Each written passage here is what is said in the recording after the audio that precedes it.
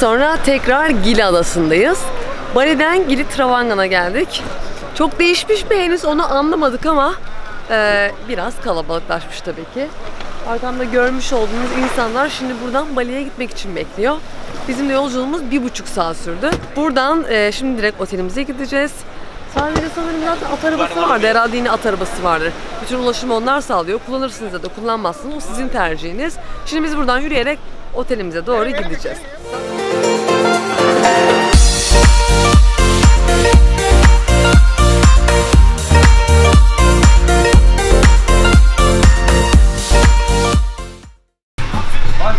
Tabii çok yürüdük. Hava da sıcak. Terledik. Bir ferahlamamız lazım. Böyle bir şey geldi. Ne bu acaba? Vay anasını destan ya. Sen bu işi biliyorsun bak. Nasıl? Böyle kendim nasıl şeyleri severiz. Otelimize vardık. La Cocotere'de kalıyoruz. Burası bir eco Ee, normal otelin aksine çadırlarda konaklama yapılıyor. O çadırlarda hemen arkada şuraya da minik bir havuz yapmışlar. Dekorasyon olarak bence mükemmel. Ben ama aslında otelden ziyade odaların içini çok merak ediyorum. La Cocotere'deki çadırlarımızın içine artık giriyoruz. Zaten keyif daha çadıra girmeden başlıyor arkadaşlar. Bir tarafa minder koymuşlar, bir tarafa sandalye masa koymuşlar. Balkon kısmı oldukça geniş ve çok keyifli. Şimdi çadırın içini göstereyim size. Biz genelde çadırda Afrika'da kalıyoruz. Aynı bu konseptte yine çadırlar. Ama tabii orası daha ilkel. Bu daha bir modern edilmiş hali. Ee, cibinli olan güzel bir yatağımız var. Yine havlularımız, ee, fanımız, klimamız, her şeyimiz mevcut askılarımıza kadar. Şimdi asıl önemli kısım bizim için. Çünkü biz bir e, otelde kalıyorsak bizim için önemli yanı tuvalet. Tuvaletin konforu. Böyle açık da değil, kapalı da değil. Çok değişik konseptli bir tuvalet yapmışlar.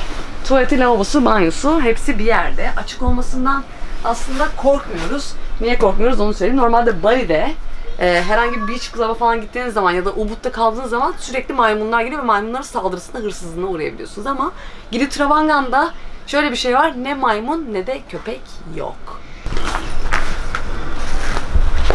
Şimdi biz ne yapalım? Bence, aa bu arada çay kahvemiz de varmış. Sine, bakın ya. Tabii, Şu ince önemlisi. düşünce çok önemli bir şey. Şimdi fark ettim. Adamlar sinek ilacı koymuş. Biz normalde bunu taşıyoruz Orkun'da. Hatta en son Orkun buna benzer, buna yakın bir boy almıştı. Adamlar valize görüp çıkarmıştı. Hayırdır kardeşim ne yapıyorsun sen demişler.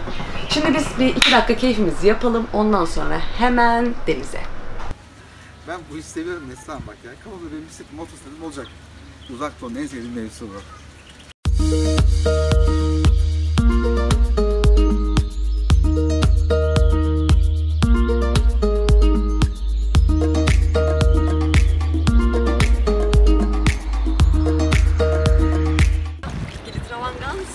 Sunset Beach'teyiz. Ee, çok güzel bir mekanda oturduk. Gün batımımızı da yaptık. Hatta falan. Ama gün batımı daha batmadı. Biraz daha süresi var aslında. Şimdi kokteyllerimiz geldi. Onları içiyoruz. Ondan sonra keyfe her daim devam.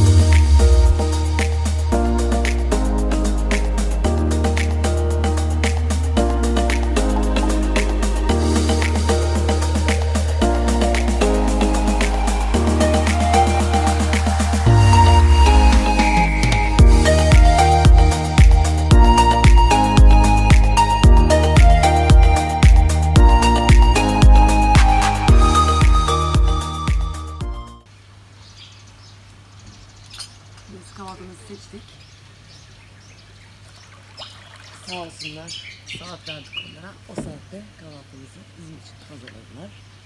Şimdi Gili Travangan'da bugün e, çok güzel bir tekne turu yapacağız. Öncesinde biz gelmiştik ama yapmamıştık. Niye? Çünkü haberimiz yoktu. Meğer adamlar suyun altında heykeller dikmiş. Millet şnorkel yapıyor. Dalıyor çıkıyor. Bizim haberimiz yok. Neyse. Eksik kalmıyoruz. Bugün şimdi oraya gidiyoruz. Saat 9'da teknemiz kalkacak. Yarım saatimiz var. Hemen kahvaltı yapalım. Gili Adası'nda tekne turumuz başlıyor. Hazırlıklar yapıldı. Çok heyecanlıyız. Bakalım nasıl olacak. Heyecanlı mısın? Hem de nasıl.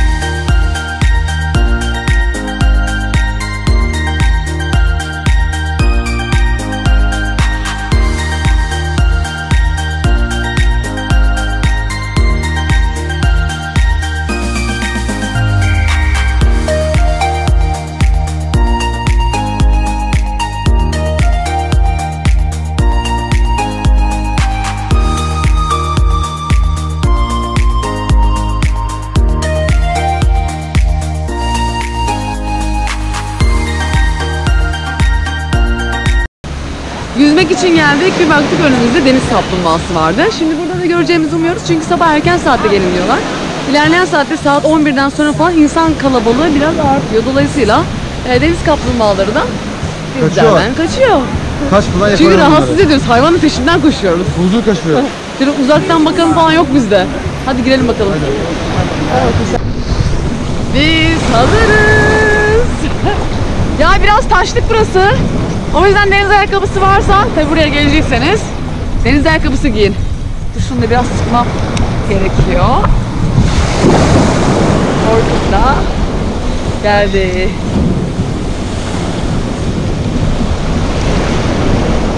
Hadi bakalım. Aa, ben de yüzerim direkt. Bence de.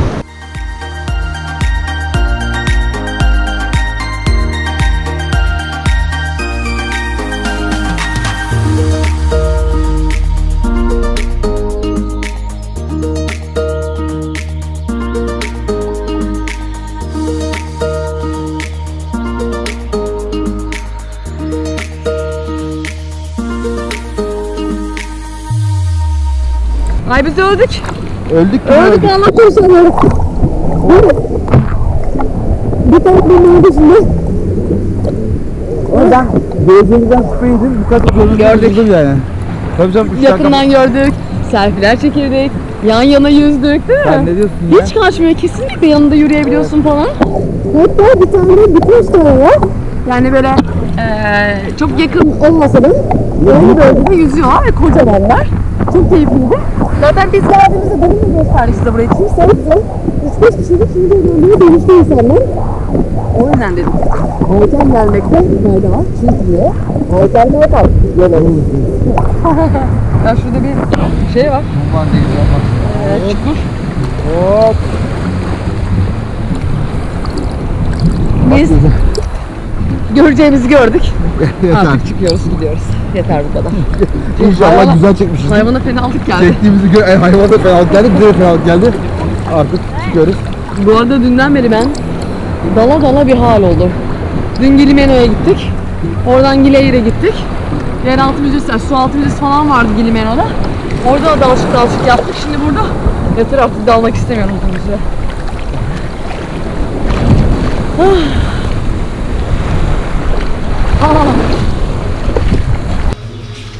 Şöyle Gili'den sizler için güzel bir video hazırlayalım istedik. Çünkü geçen sefer geldiğimiz zaman e, Gili Travangan aslında çok yani açık söylemek gerekirse çok beğenmemiştik biz.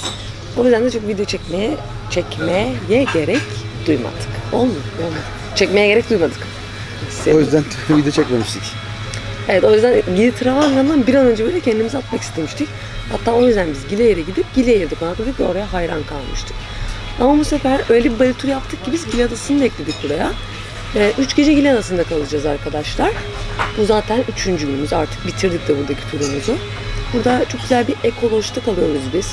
Aslında çok güzel yani sizin istediğiniz tarzda çok güzel konaklama seçenekleri var. İsterseniz ekolojide kalırsınız, isterseniz butik otellerde kalırsınız ya da denize sıfır oteller var. Yani konaklama seçeneği olarak hiçbir sıkıntısı yok bence ama burada konaklama anlamında bence çok lüks aramamanız gerekiyor. Daha böyle e, doğa içinde daha salaş bir konaklama. Burada bir kafa dinleme, gündüz kafa dinleme, akşam biraz daha eğlence, her şeyin olduğu bir ada. Ee, biz evet 4-5 sene önce geldik ama e, yıllar çok şey değiştirmiş arkadaşlar. Burası çok gelişmiş ama çok ama çok gelişmiş. Mekanlar da kendini geliştirmiş, ada da kendini geliştirmiş. Eğlence, konaklama, restoranlar. Ben açıkçası çok sevdim bu. Hatta zihniyet de değişmiş. En önemlisi de bu. Örneğin biz denize giremiyorduk neredeyse. Bu kayıkların, teknenin bağlamasından kursalar. E, kendini yer olmuyor denize girecek. Bir diğeri de Evet. gelişmiş anlamda, gelişmişlik anlamında. Eskiden mesela e, Gili Travangan'da sokaklarda yürürken bikiniyle gezemezsiniz diye tabelalar vardı. Evet, Ve gezilmiyordu da- da ama artık insanlar yani kadınlar bikinileriyle sokakta çok rahat gezebiliyorlar. Ya şimdi biraz şırına çıkmış gibi şimdi so- sokaklarda artık uyuşturucu madde sıkıyor olmuş. Ee, enteresan bir yer tabii. Burada hani birazcık parayı gördü mü buranın halkı bir anda her şeyden taviz vermeye başlıyorlar. Ama güzel biz e, dün de mesela Gili Eir'e gittik. O da çok harikaydı. Travangan çok iyi. Meno zaten dalış olarak çok iyi.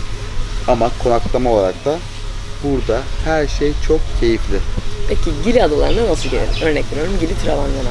İsterseniz Bali'den bir buçuk saatlik hızlı teknelerle gelebiliyorsunuz. İsterseniz Bali'den Lombok'a uçup Lombok'tan Gili adaları yani 3 tane adası var. Gili, Meno, Eğir ve e, Travangan. Bunların herhangi birinin Lombok'tan gelebilirsiniz. Biz ilk geldiğimiz sene zaten evet Bali'den Lombok'a uçup Lombok'tan buraya gelmiştik. Çünkü Lombok konaklaması da yapmıştık.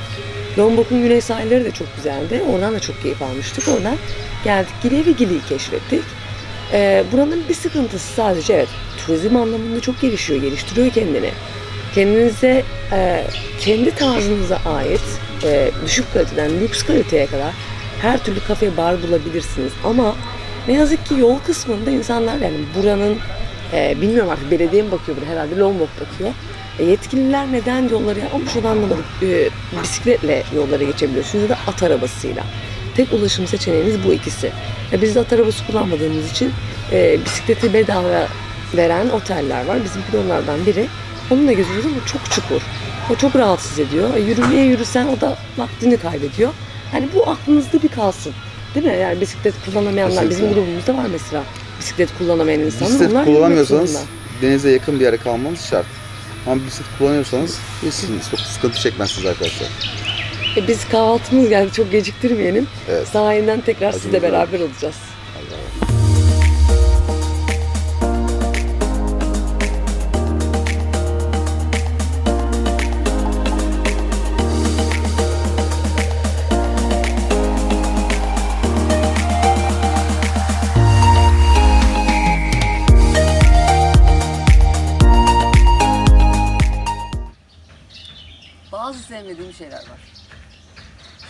Şu an onlardan bir tanesini yaşıyorum. Tatilin sonunda. Hiç olsun istemiyorum. Dönüyoruz. Enerjim yok. Bitti. Nasıl olsun ki? Dönüş yolunda enerji mi kalır? Şimdi iki buçuk saat feribot yolculuğu yapacağız. Sonra bir iki saat yakın şehre gideceğiz. Sonra oradan muhtemelen bir, bir buçuk saat havalimanına gideceğiz.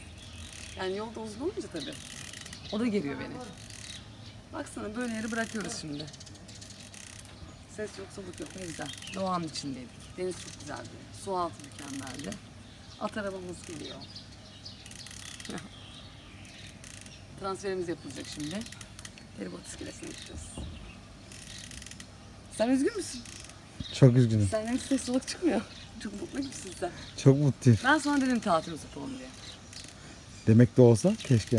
Dedin de ne yaptın yani? Söz bedava. Para mı iyi diyorsun? Söz bedava. Ne demiş Neslan ya? Arkadaşlar arkadan konuşuyorum. Neslan demiş. Deyince olsa keşke her şey.